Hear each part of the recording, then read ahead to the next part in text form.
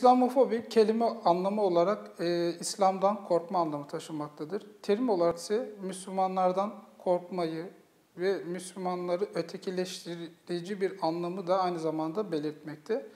İlk olarak kullandığı döneme baktığınız vakit 1991 yılında ilk bu terim kullanılmış.